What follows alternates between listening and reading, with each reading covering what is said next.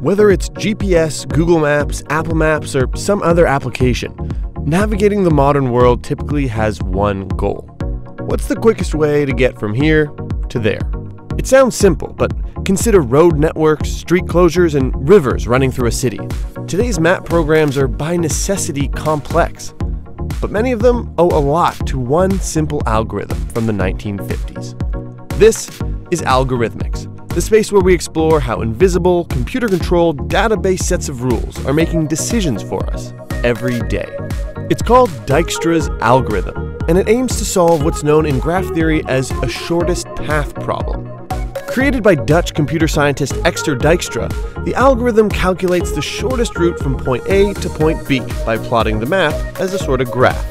Here's how it works at a basic level. Different points on the map, like intersections or destinations, are called nodes.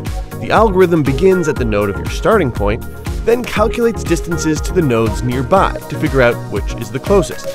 Then the algorithm repeats the cycle with that node, measuring the shortest distance to the next node and the next, and continues this process until it reaches the destination node.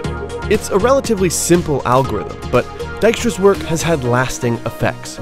In the 60s, researchers used it to create an algorithm called A-star, which uses heuristics to estimate approximate distances and solve the problem quicker. While companies like Google and Apple won't reveal the tech behind their mapping systems, they're likely built on a number of algorithm-based systems, from A-star to contraction hierarchies to hub labeling.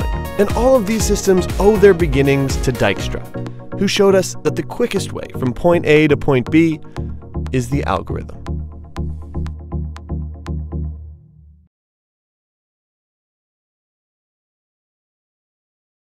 Hey, NBC News fans, thanks for checking out our YouTube channel. Subscribe by clicking on that button down here and click on any of the videos over here to watch the latest interviews, show highlights, and digital exclusives. Thanks for watching.